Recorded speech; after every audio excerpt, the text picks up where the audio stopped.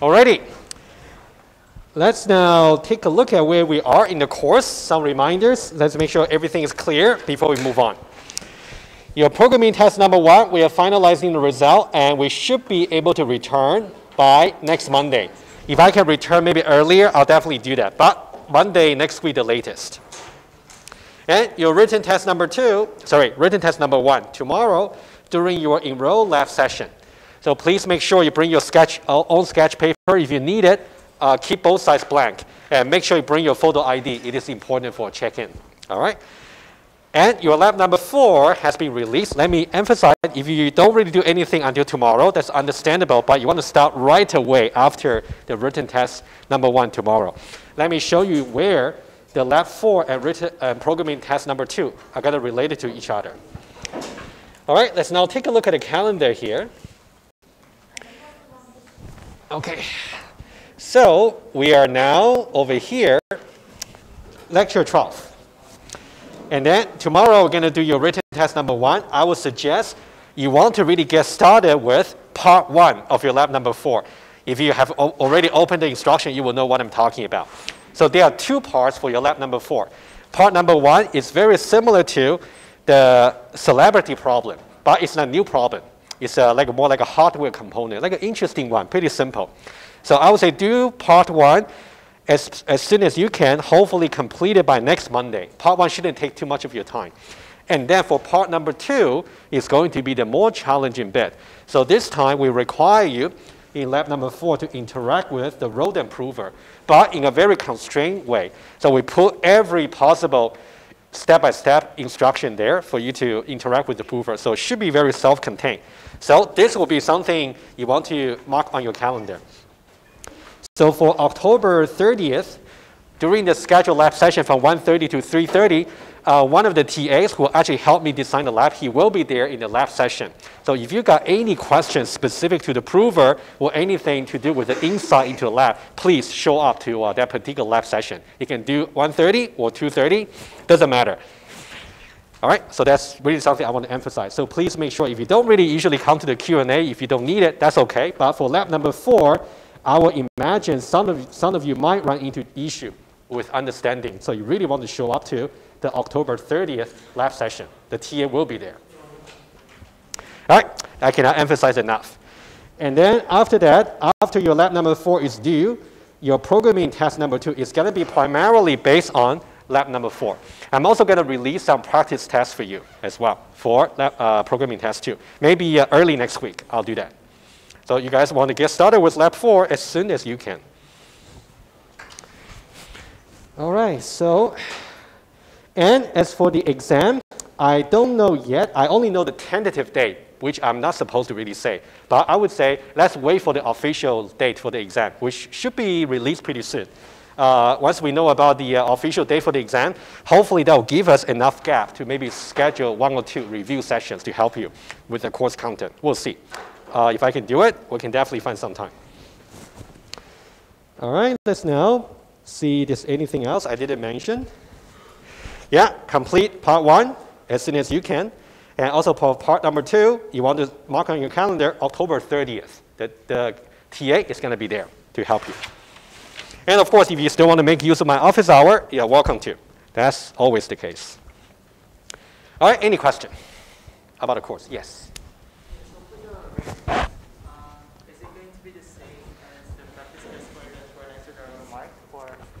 So is the format is going to be the same? No, no, no. Like the, the short answer questions, are they going to be auto marked, or is the? Oh, it's going to be auto mark. So everything in the written test is, is going to be auto mark. So the amount of text that you will be expected to type will be very similar to the practice test I gave to you. Mm -hmm. Similar, right? Good.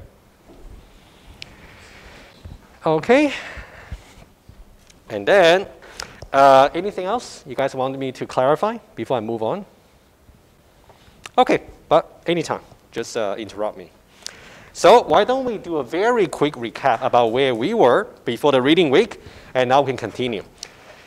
All right, so I think I want to mainly focus on the uh, bridge controller part that we started on Thursday. And I think that there was a small part from, from the Thursday before the reading week. We spoke briefly about how you can formalize the array as a function. That's something you can also read the slides and reach out to me if you got any question.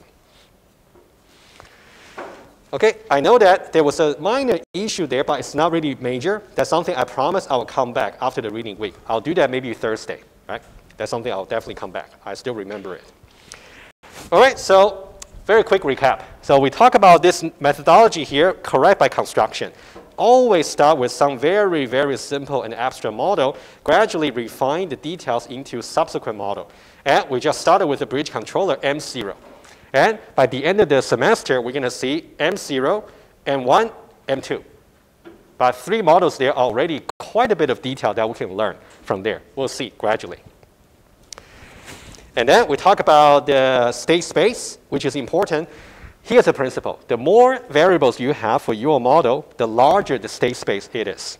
So the idea would be the initial model here should have the, uh, should have the least number of variables meaning that you should have the smallest state space.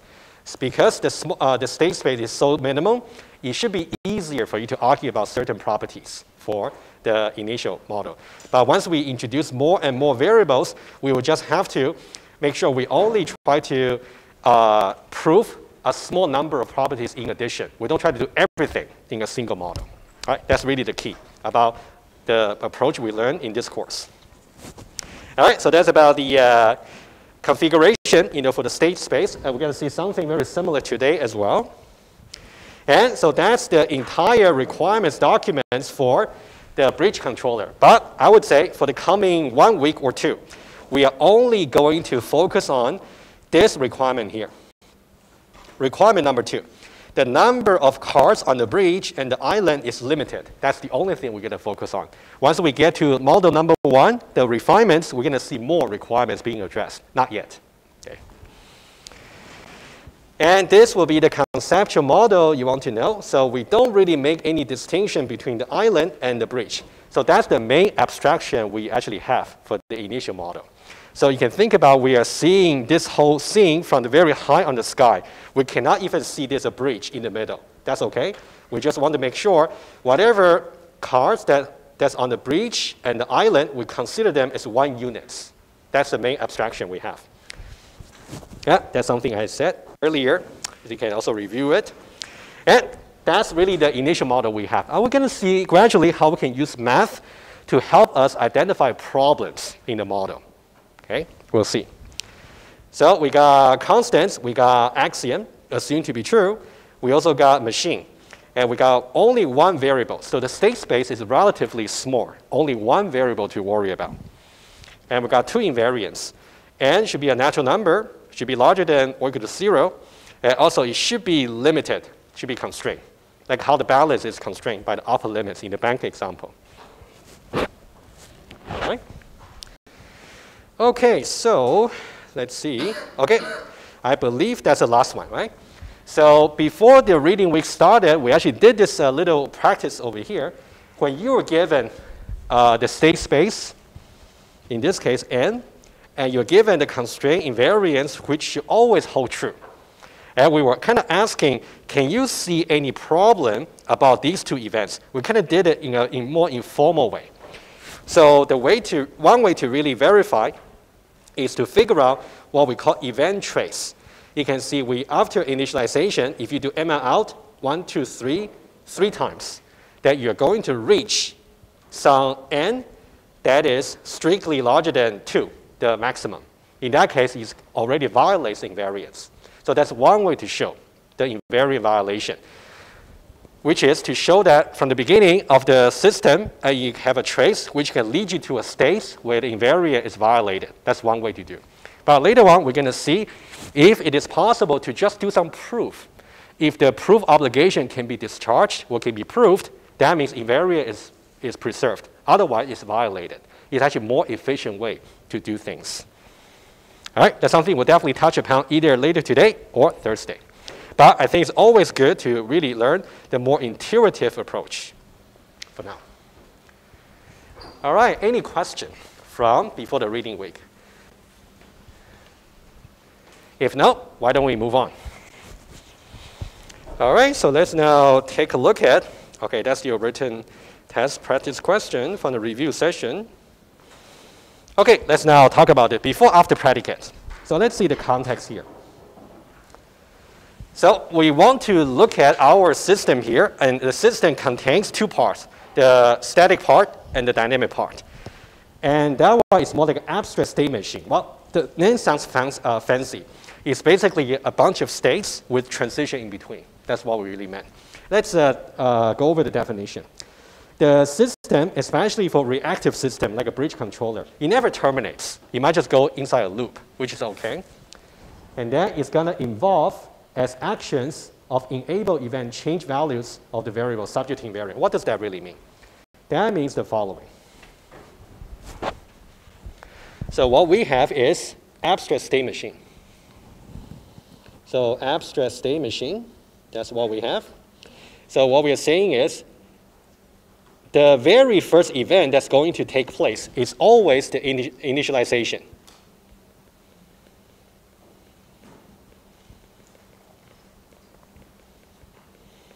Well, sometimes we just say init.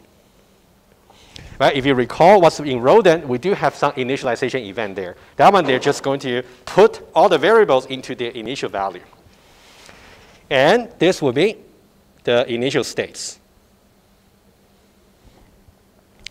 And what's so important about it, this initial state, that's where everything will begin. And then the property that must be satisfied over here is the invariance. Invariance must be established for the very first time, conceptually. All right? And then from the initial states, here we actually have, of course, you know, the state here, uh, for example, n could be equal to zero, for example. And then from that state, we have to somehow figure out what are the possible events that are actually enabled. So now let's talk about enable, the idea. In general, if you have a, uh, events, Let's say, for example, the example I can give to you will be something like, you know what, let me put this into a new page. That might be a little bit better. Okay, so now what I want to talk about is the transition of events. Transition of and events. Okay, I'm going to talk about several concepts over here. Let's say we talk about withdrawal. And if you recall, we actually got the withdrawal event from your lab number one. All right, so we got the account, which should be in the domain account. And also we got V, which should be, let's say, natural number. And then we actually got some constraint on the parameter. So A should be in the domain of B. And remember, B is a balance function, right? It will map from account. Let me just remind you quickly. So B is actually from the account partial function to the natural number, the balance, let's say. Okay? And then we have the V. Uh, I think that's good enough for now. begin, and we got the action. So here we say B should be substituted, or B becomes. B, and then overridden.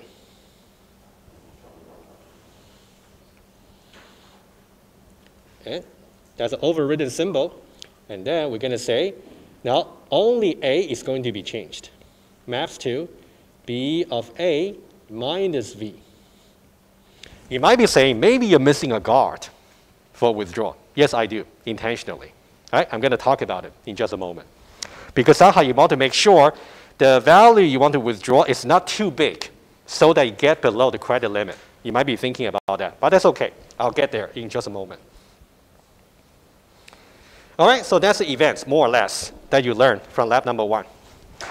And here we want to talk about how we can make a transition for the events. You want to think about there are always two states for you to consider. In order for me to really take a transition from a state to another by the withdrawal events. Right? That's conceptually what's happening. And it's going to be true for every event. Let's clarify some terminology here. Number one, the states where you start the transition is called pre-states. And the state where the event terminates and ends is called post-states, pre and post. All right, so let's talk about pre-state first. In the pre-states, usually there are two things that should be satisfied, should be evaluated into true. Okay. So now in the pre-state, we should really say it should be green, meaning that it's safe. And there are two things that should be satisfied. Number one, the guard of the events, in this case, withdraw. Because if the guard is not really true, then the event is said to be disabled. Okay? So we also say the guard is called the enabling condition.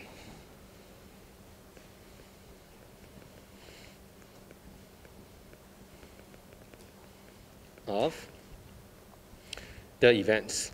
And for now, we only got one, which is, they, which is to say, as long as you can give me an account that's in the domain of B. And also, you got V, which is a natural number, I'll let you do withdrawal. Almost like an unconditional, which can be potentially problematic. But the point is, you have to make sure, number one, the guard must be true, so the events over here will be enabled. Okay? So you want to say, withdraw over here must be enabled to happen, to occur. Okay, that's number one. Number two is about the invariance. Number two is the invariance, usually we say just I. Must be true to begin with. That means you must start the events transition in a state that's considered safe. If you start with the unsafe states, you cannot do transition. In our case, let's now make the uh, assumption. We only got one invariance. Let's say invariant i is here.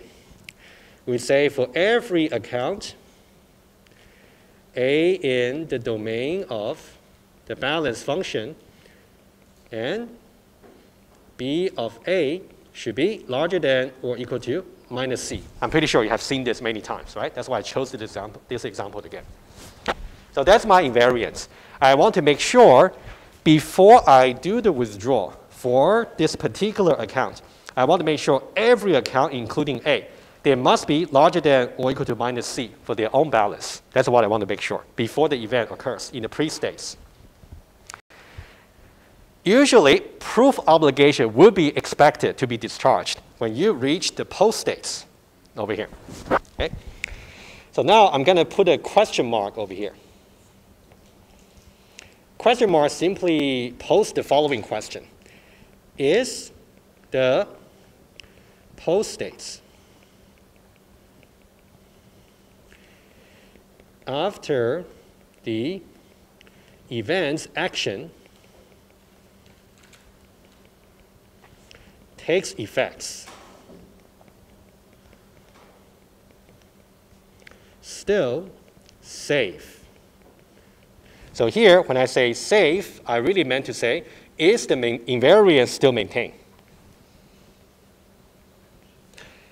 Is I maintain. That's really the question. Okay, I'm going to do a little bit more elaboration on this to just to show you. Are we okay so far? Right, it's really important because it's going to be the same pattern for every event that we need to talk about. And hopefully we can reach uh, either today or on Thursday, we're going to reach to formulate about a proof obligation for invariance. It's going to correspond to this, but this is more intuitive right now. Okay, let's now think about the following. I'm going to put it here.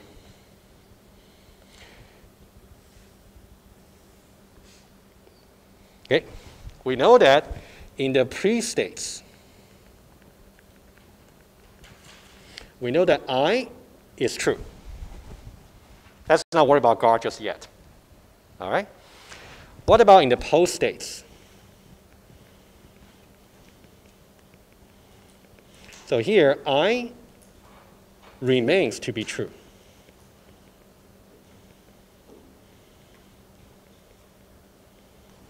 And now, how do we formulate this a little bit further so we can manipulate it like a math? The way to do it is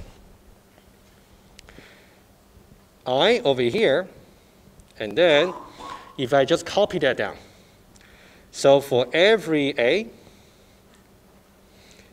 A is a member of the domain of B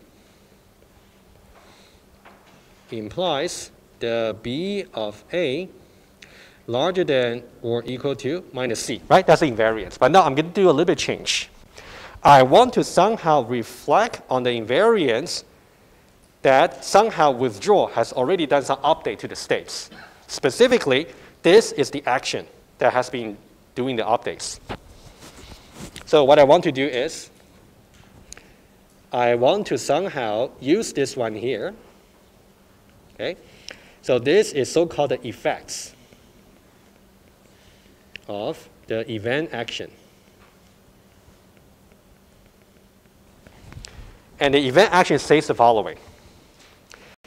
In the post states, the B is going to become just like the original B, except it has been overridden by specifically for account A.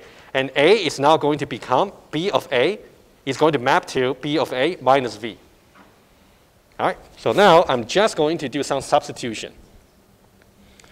Based on the effects over here, the only thing that's going to impact will be this one here.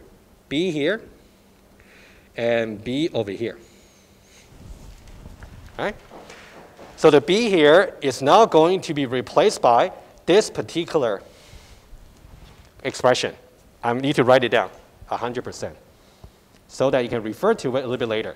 And this example here, the replacement ju might just become a little bit complicated, and the one we're going to do later for the example will be slightly easier. But it's good to start with something a little bit more complicated. That's fine. Let's now take a look.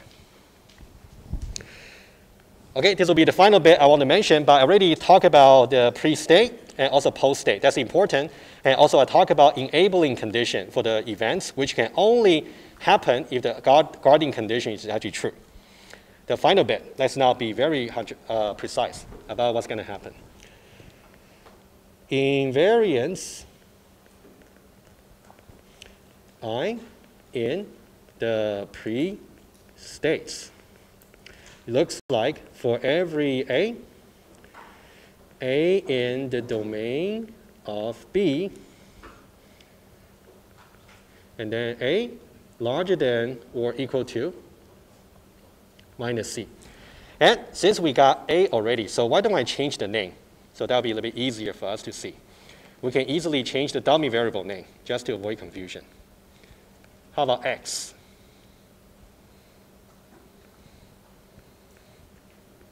Okay, just X, because we got a parameter of the event called A.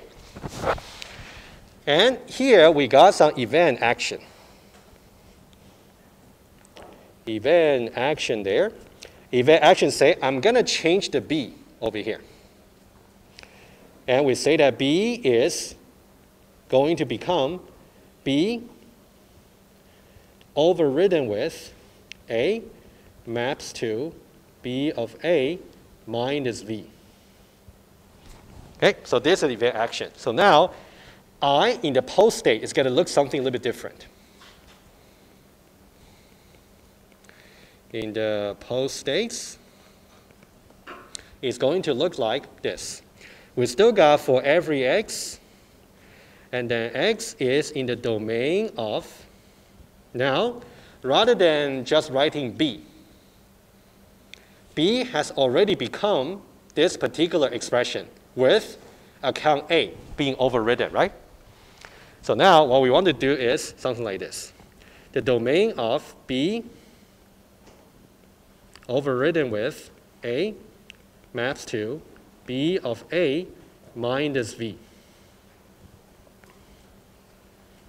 Okay, let me write it down and then I will recap. And then implies x larger than or equal to minus c. I can possibly write this one here. All right. This is some kind of exercise we will have to do, which is to have the, we have the same invariance i over here. And then in order to show that the same invariant is going to remain true in the post states, we have to somehow do some massaging on the invariance in such a way that whatever event, action that's going to take place, sometimes it could be multiple actions in the events, in which case we got to do multiple massaging on the parts of the uh, invariance. But the point is, take the same invariants and copy down over here. For every variable that's being modified by the events, we have to make sure we replace the new value of the variable and put it exactly here. So now here in the pre-state, it's b. In the post-state, it's this particular new b. Right? If you remember in the relational overriding or any relational operator, it was just going to give us a new relation over here. Okay? That would be something very important for you to write. This is the new value of B in the post states of withdrawal. And for today, we're not going to go any further to say how you can prove this on paper. That might be a little bit more complicated than uh, what we want to discuss, but at least you know that the same invariance can be expressed in the post states. But the only thing is, you want to make sure replace all the impacted variable by its new expression. That's the thing. All right? I can prepare maybe another example for Thursday. We can do something maybe a little bit easier. I think this one here kind of shows you something you did earlier in the lab. Are we okay with this? About this uh, summary here? Invariance and also enabling condition and also the uh, pre and post states. That's important. All right, let's now go back to the slides and see what's missing. Enable versus disable. And also ML out, ML in, we got different action here. And we spoke about last time about having some event trace that's going to show you some violation of the invariance, right? That's something we covered already last time. And before after predicate, that's something just one step further. All right, so before after predicate, I'll say a little bit more here. So when you write in Rodin, you actually say the colon equal. Hey guys, hello. Please. Yeah, you've been uh, like this for quite a, quite a while. All right. All right, so now we're going to talk about the effects for the events. So basically say that n becomes n plus 1, right? The way to interpret this is, is I can become. I would say, I'm going to show you one example there. It's not very uh, appropriate to think of them as just programming assignment. It's not appropriate to do it, okay? What you want to think about is the n here on the left-hand side, it tells you what's going to be the post-state value.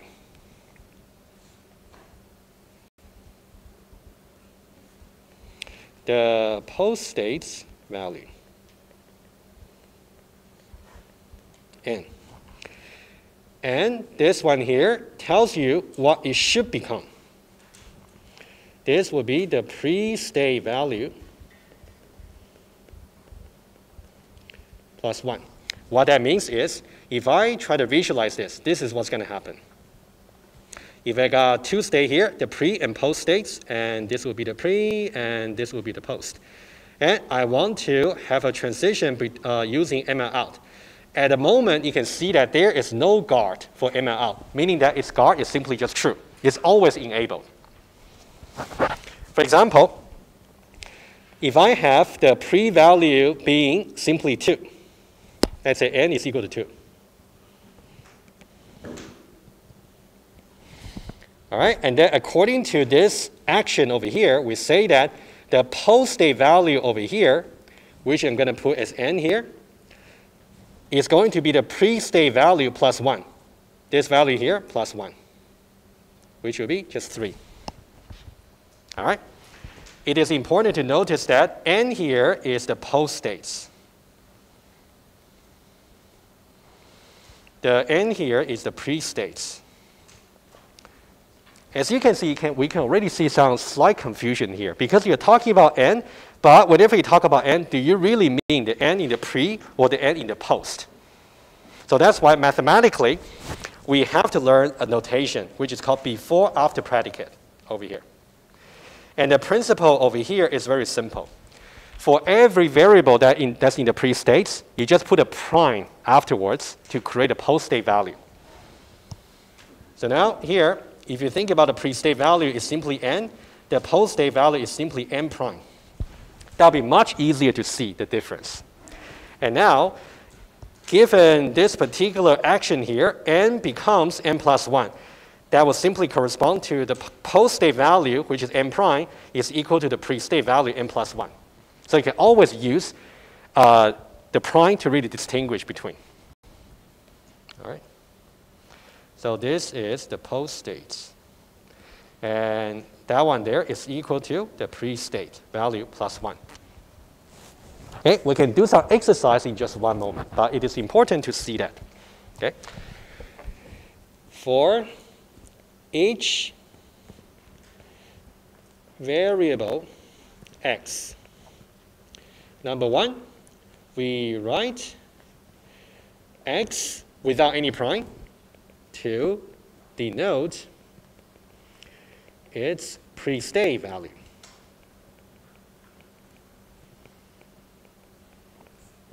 Number two, we write x prime to denote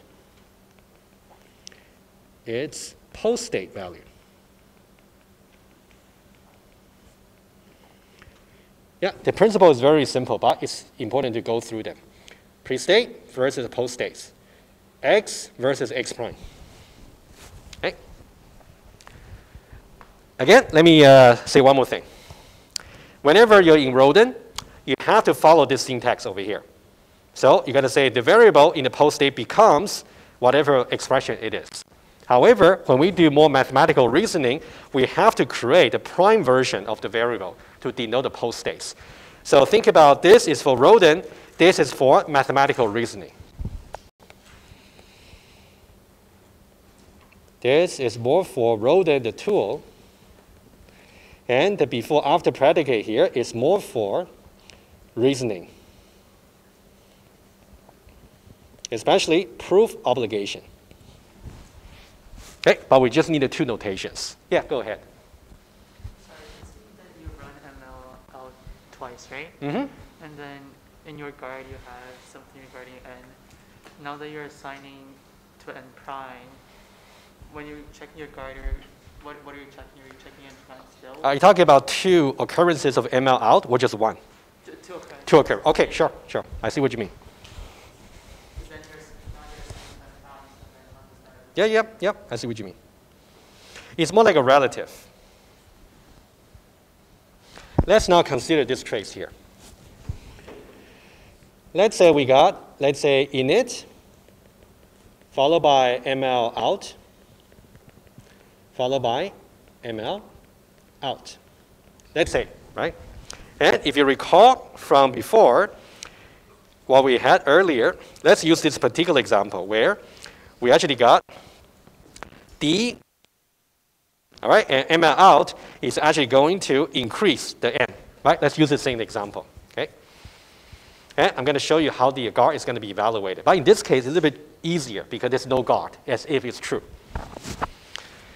What's going to happen is we have the init, which is by definition going to initialize n to be 0. And we have, we assume that d is equal to 2, the maximum, okay? So, and now, think about for the very first occurrence, okay? We want to have ML out. And just an aside, the action for ML out is n becomes n plus 1. Okay, that's a reminder. And as for the guard, you can see that there is only the action, there's no guard. When there's no guard, it's as if it's true. It's always enabled.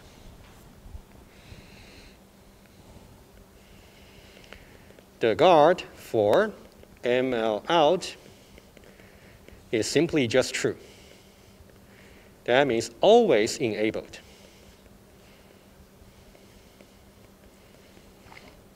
But hypothetically, why don't we just change its guard to be something so we can see, okay? Hypothetically, say n should be, let's say, uh, larger than or equal to 1. Oh, how about this? Sorry.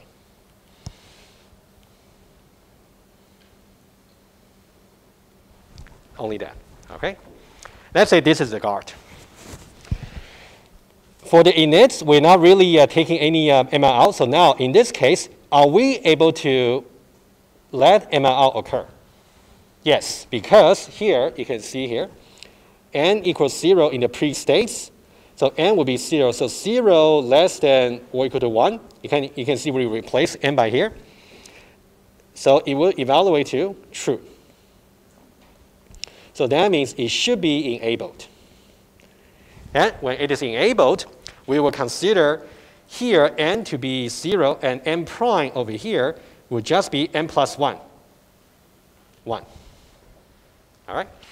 And now when we get to this particular state over here, you can now see if we try to evaluate it, 1 less than or equal to 1. Still true. Still enabled. And we can do one more. And if you try to do it again, we can do another ML out. Now, whenever we talk about pre-state and post-state, it's not really absolute. There's no like an absolute pre-state for everything. There's also no absolute post-state for everything. It's relative. As far as this pair of state is concerned, this is pre and this is post. As far as this particular pair of states is concerned, this is pre and this is post. All right? So now, let me use a different color. You can think about n over here, the pre-state is equal to 1. And if you evaluate the guard, true. So that's why ML can happen once more. And what about n prime? It's going to be n plus 1, which will be 2. All right? So once we get to that state, if, is it enabled again? Not really, because now if you try to uh, evaluate 2 less than or equal to 1, false. So that's disabled. So we are not able to have ML happen anymore at this point, unless we change the value for the variable. Mm -hmm. Does that answer your question? Good. Okay, let's now try to do one little exercise over here. And before that, let me just remind you one more thing. So whenever we talk about the uh, uh, action over here, you want to avoid thinking that it's uh, assignments. It's actually different variable where the becomes is going to happen simultaneously. But let's now see this particular example. All right. Now I have an event. Let's say it's no guard, unconditional, always enabled. And I now I try to do some swap. Let's assume we got temp, we got x, we got y. We got three variables, integer, let's say. Would you say this is an appropriate event for swap?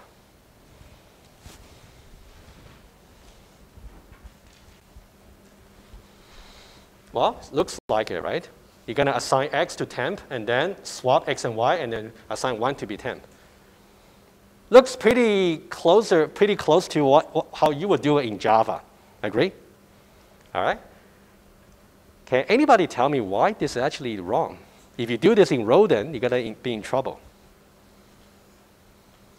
Or it's not going to kind of verify what you want to verify. All right? So number one, this is inappropriate.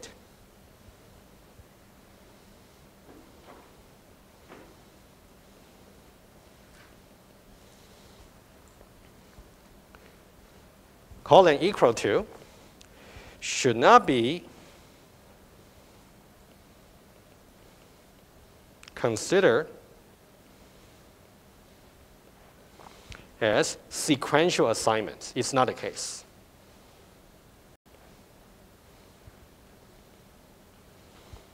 It does not really go like this is going to happen first, and then this is going to happen, and then this is going to happen. In that case, we, we would have been doing programming. It's not specification anymore.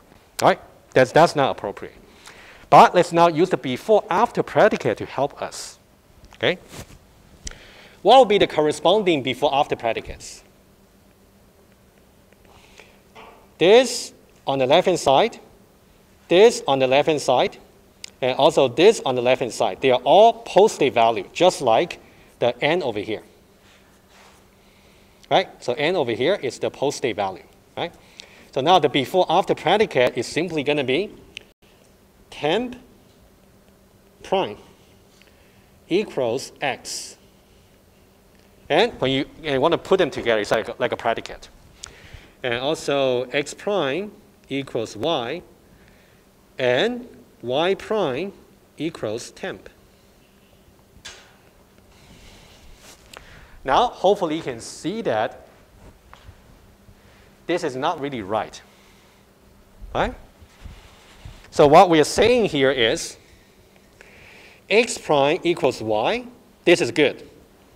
However, y prime equals temp. And the temp over here is the pre-state value.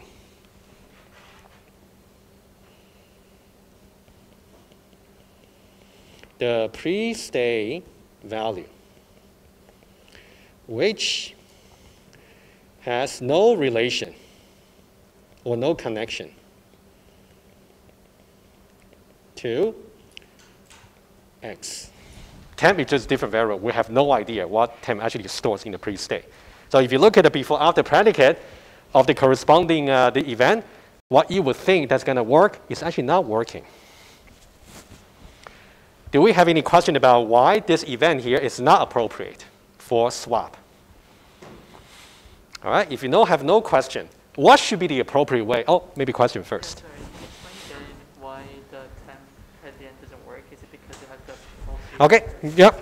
How about this? I'll give you one example. Let's say we got pre-states and we got post-states. And then we got swap. Let's say in the pre-states, we simply got, let's say, the temp. We got x, we got y. Let's say x is simply uh, equal to 23, and y is 46. We want to swap these two. Temp is more like a temporary variable. It can be any value. Why don't I put minus 1? Okay? And now, according to the before-after predicate, we are saying the following. We are saying that the temp prime is going to be the initial value, pre-state value for x, which would be 23. And x prime is going to be the pre-state value of y, 46. And y prime is going to be the initial value, pre-state value for temp, which is minus 1. And that certainly is not what we want. Right? Again, we really want to make sure we are, we are very clear about what this become really means. It has nothing to do with variable assignments, even though you might tend to think of it, but that's okay. But you don't certainly don't want to think about its sequential assignment. It's not.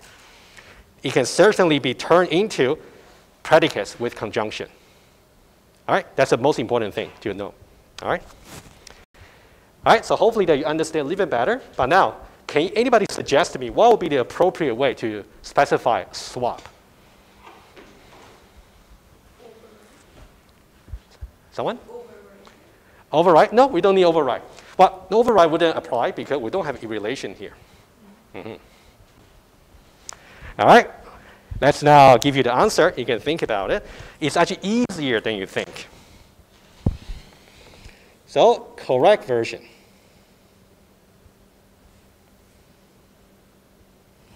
So the correct version goes like this.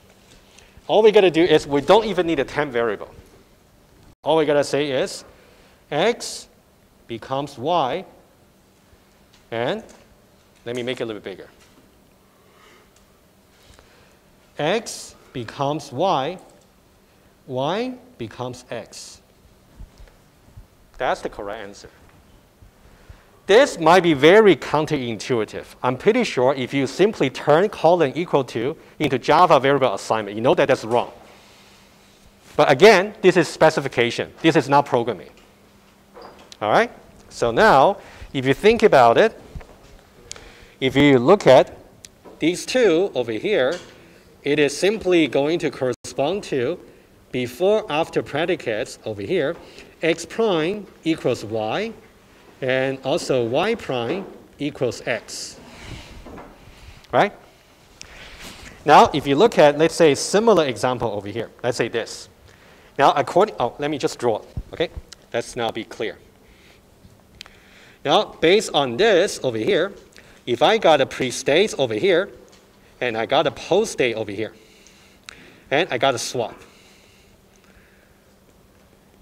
Now, let's say x equals 23, y equals 46. Now, what about x prime? Well, just initial value for y, 46. And what about y prime? It's going to be pre-state value for x, which will be 23. That will be the correct way of doing it. So I think that this will be a very nice example to really show to you whenever you're writing the event actions over there, just remember to really always turn them into the corresponding before after predicate to think about if they make sense. So here in the initial swap I gave to you, it might make sense if you think about it's just like a Java or C, but it's not. It's a specification language. It's not programming language. Okay? All right, final recap. This is wrong because the before after predicate over here simply correspond to the wrong implementation for swap. If you want to do it correct way, that will be the correct way. And to justify it, you can see the corresponding before after predicate, and that's one example showing you how to run it. All right? That's uh, important to note. Okay.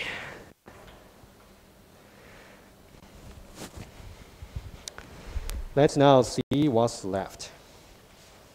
Uh, before after predicate, we talk about it, and let's now talk about invariant preservation. And the, there's only one thing I'd like to mention conceptually, and then we can move on to, okay, I would say let's go one more concept over here, very brief, and then we'll take a short break, and then we can start something a little bit heavier, sequents. That might be deserve a little break before that. Okay, let's do the previous slide very quickly. This one, really nothing uh, much to say. I just want to draw down one predicate for you, just for the conceptual idea. Okay. What we're going to do after the break is we're going to we're going to gradually formulate and pave the ground for you to formulate invariant preservation proof obligation. So invariant preservation over here, somehow it can be to be formulated as a proof obligation. And that is something we'll see either today or on Thursday. All right. And there's only one little thing I want to write down, so you can uh, just check that a little bit later. So what we desire is something like this. We want to say for every possible states And then we say that the states is a valid one with respect to our state space. I'll give you an example in just one moment. That implies the invariance is going to hold on that particular states. All right. So now what about in this example here?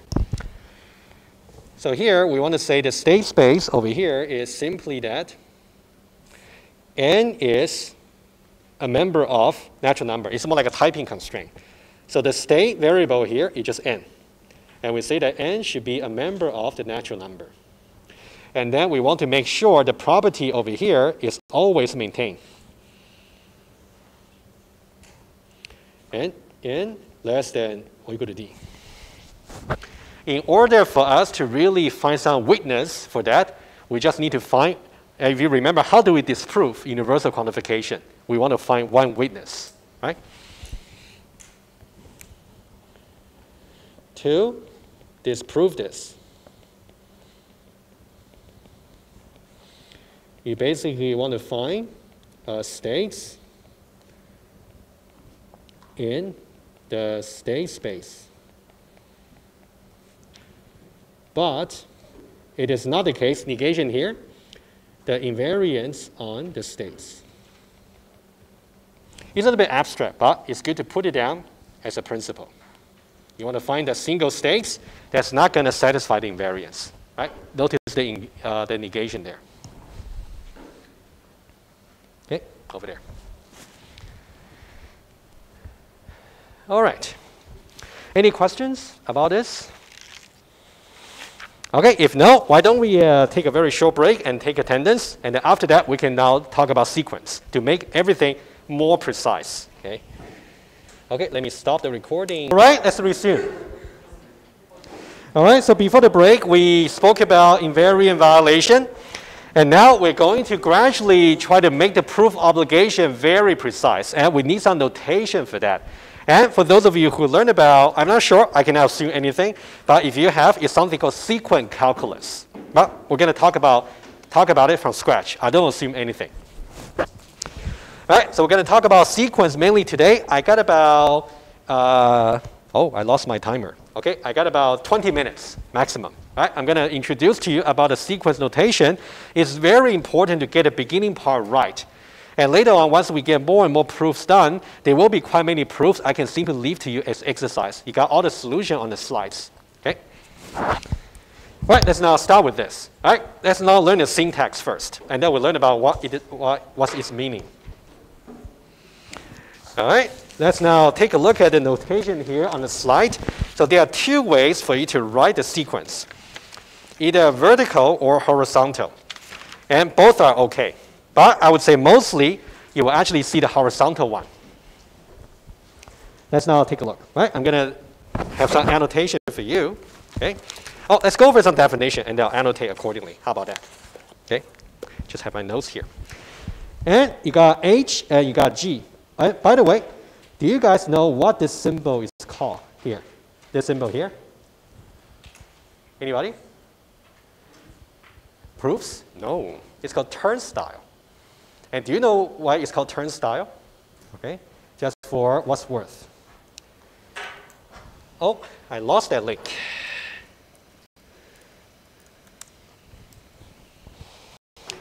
If you guys ever took some very old subway system, the gates, I'm not sure if they still have this in Toronto, but it's something that looks like this. Uh, let me just, oh, this one here.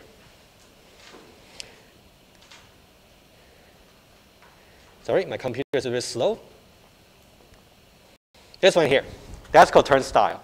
If you ever, for example, you go to New York, maybe Toronto, I believe some subway stations still got this. When you want to go into the station, rather than just scan your card, actually this, you gotta insert a coin and pass through.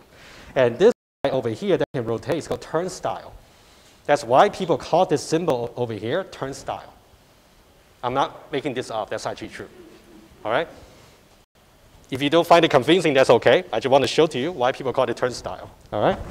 All right, so that's turnstile. And then uh, before, we got to understand what's to the left and also above the turnstile and what's to the right and below turnstile. All right? Turnstile. And then we got hypothesis and goal conclusion, right? Let's now annotate it. Okay, let me just see my pen. So it's here. Okay, good. So we just said that this guy here is called turnstile.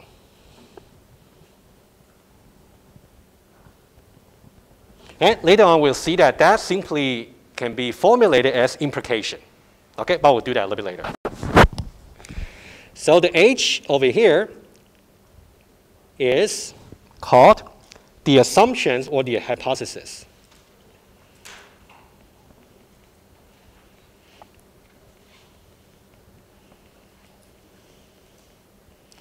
And the G over here is called the goals or conclusions.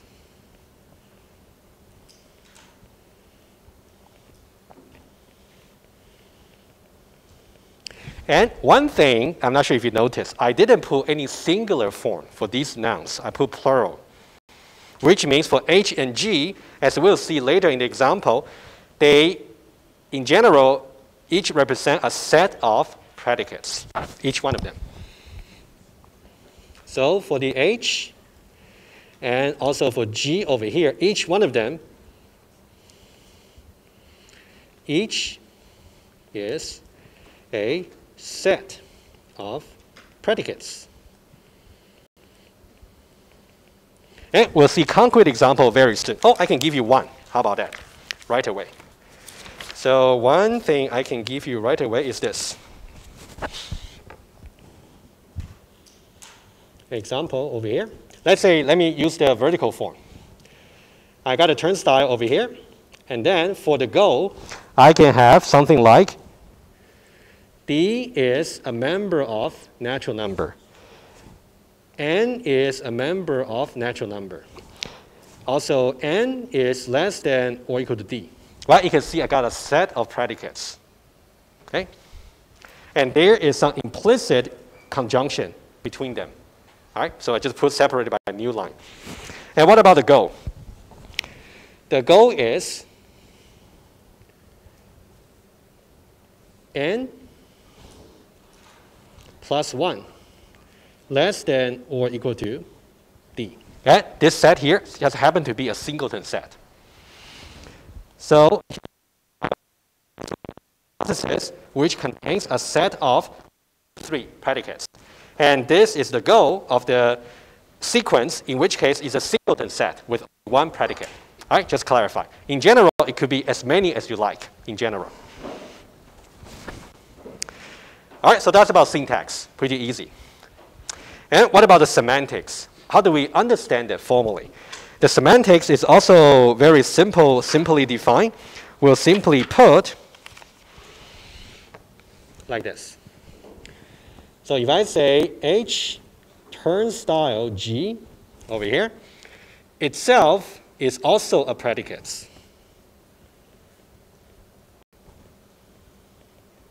And then we say that that predicate, if and only if H implies G. Okay, that's the meaning. Straightforward. And how do we interpret that? Assuming that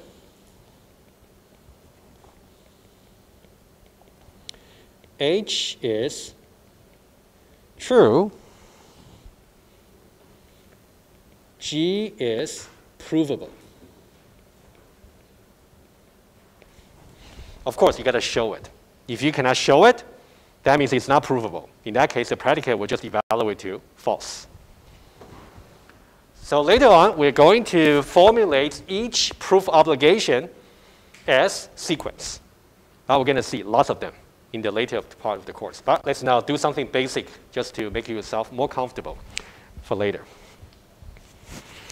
All right, so now for today, maybe of course you'll be very occupied for the test tomorrow, but after that, you want to really make sure you, you remember this definition here. Whenever I say this one here, I really meant this one here. Okay? And a little question for us to think about. Very often, you might see a sequence like this, where the H part, the hypothesis part, is simply empty. It looks like this. Turnstile. And then I only got G here.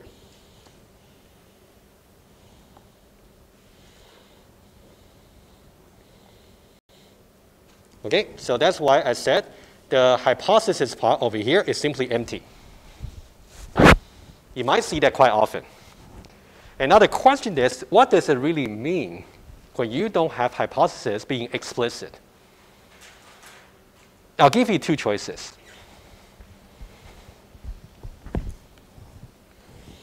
Choice number one, it would simply mean true turnstile G. Or choice number two, false. Turnstile G.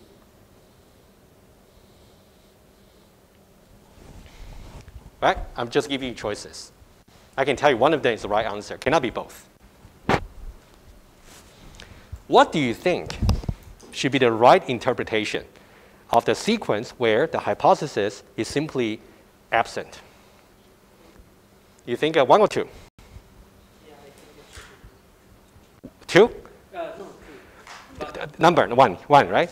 Okay, sure. But why do you think two is not the case? And if, if, because if it's false, um, geez, because we also say that, right? Assuming H is true, uh, if there is a predicate. In, like in H G, we, we say that it, assuming H is Oh, assuming H is the case, right? Yeah. So false can be the case, right? So any other answer? I'll give you a hint. In order to really get this very 100% convinced, you want to go back to the meaning of sequent. Think about what this really means versus what this really means, and which one might make more sense. You think number two make more sense?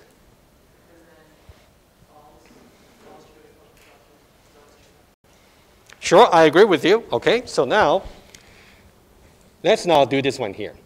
This one, by definition, is simply false, implies G over here. But remember, we got the identity uh, like a zero of, uh, you know, zero of the uh, implication. So this one here is simply means true. This one is a bit peculiar. That means by writing this down, I'm basically saying nothing to prove. Then why do you write this down in the first place? Right? On the other hand, if I got here, this is equivalent to true implies G. And we learned about identity of implication. That one is simply equivalent to just G. If only G alone, we are basically saying G is itself provable without any extra assumption or hypothesis. So that's the right interpretation. So we are saying that whenever you're seeing this kind of sequence over here, it cannot really mean the hypothesis over here is simply false because when the hypothesis is really false by definition, you don't even need to write this down. You're just saying G, everything is provable, not just G.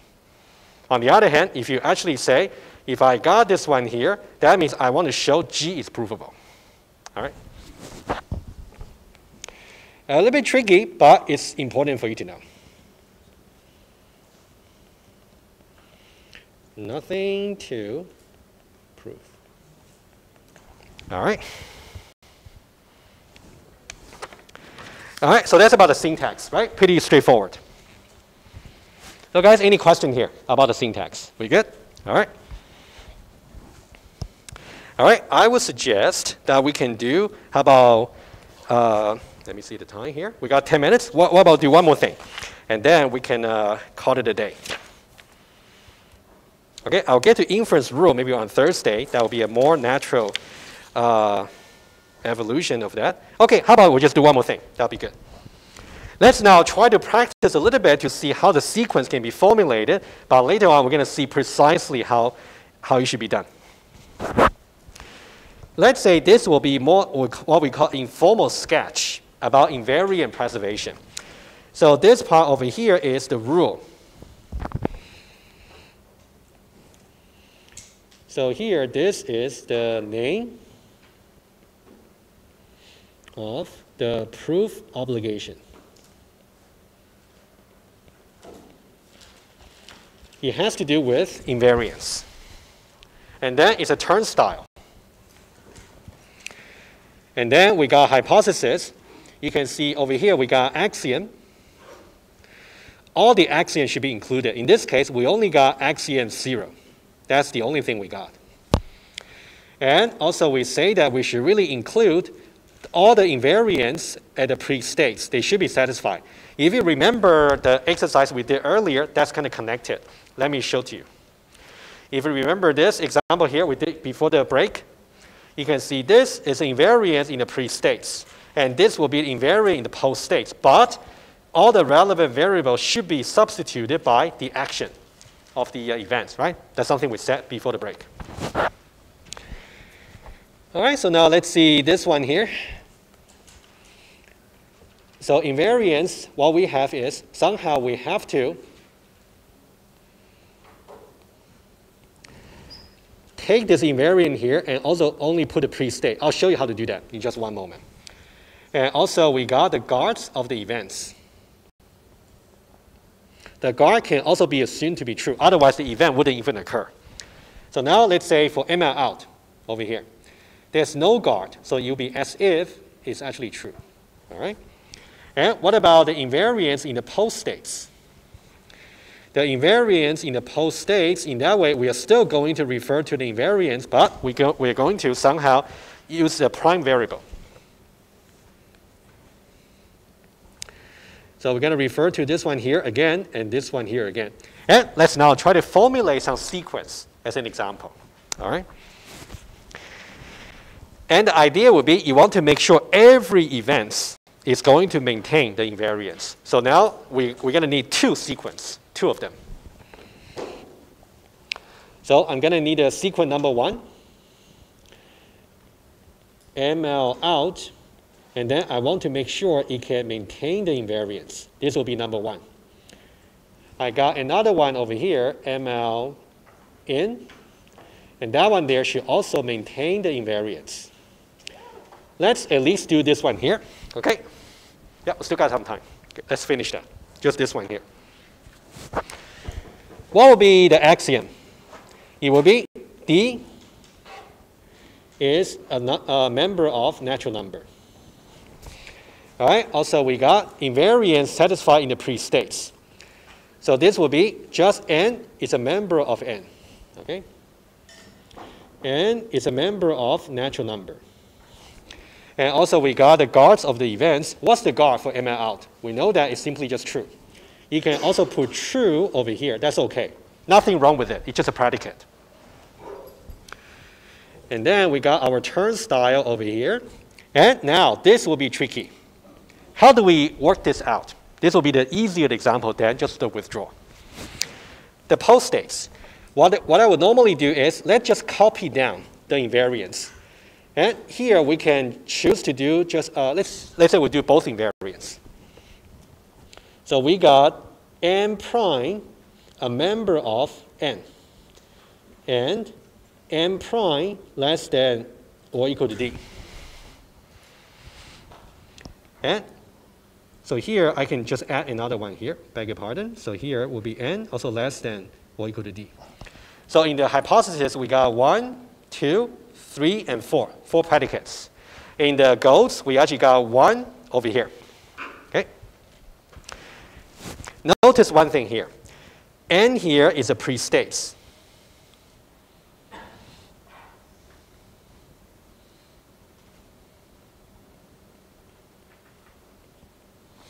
And the n prime over here is the post states.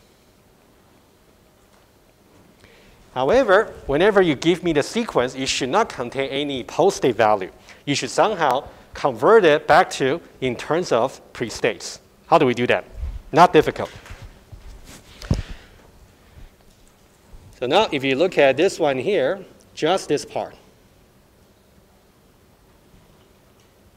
Because we know by definition ML out has the before after predicate n prime is equal, equal to n plus 1. So I'm just going to replace n prime by, by n plus 1. So n plus 1 is a member of natural number, and also n plus 1 less than or equal to d.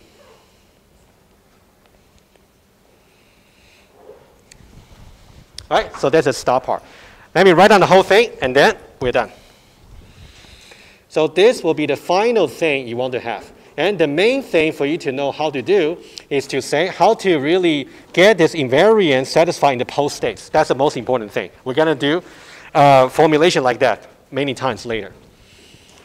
So D here, N here, and less than equal to d, and also true. turnstile, and then n plus 1 is a member of n, and also n plus 1 less than or equal to d. So that's the final one. All right? Exercise for you. Can you try to formulate ML in? And then invariance. And the only thing that you're going to find difference is how you formulate the invariance satisfied at the post state. Because now the effects of the events is going to be different. Right? You want to complete that exercise before Thursday. And we're going to continue from here. All right? I'll see you in the lab session tomorrow.